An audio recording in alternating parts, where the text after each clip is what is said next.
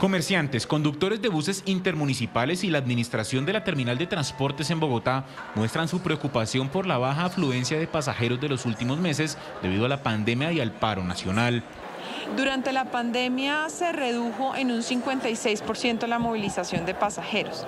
En las últimas semanas, como consecuencia del paro, tuvimos una reducción del 70% y el último fin de semana una reducción del 84% en la movilización de pasajeros. Estamos prácticamente quebrados los comerciantes del terminal porque, pues como se han dado cuenta, eh, la movilización ha caído un 80% el transporte de pasajeros por carretera y nosotros pues, estamos trabajando a un 20%. Tanto en la terminal como en los locales comerciales han buscado de mil maneras salvaguardar los empleos de los operadores, pero los propietarios de los locales aseguran que de seguir así tendrían que comenzar a prescindir de los contratos. De nosotros dependen más o menos 2.000 familias y estamos rotándolos.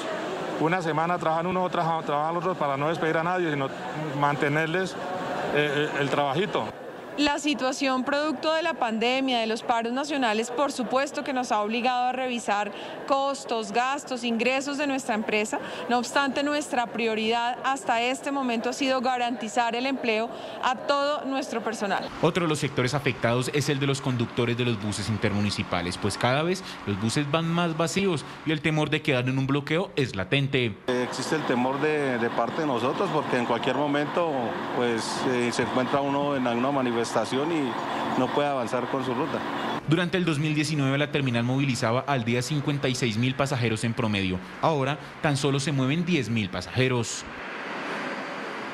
Bien, y hoy el portal de las Américas fue nuevamente epicentro de noticias. Esta vez el Consejo Distrital sesionó en ese lugar.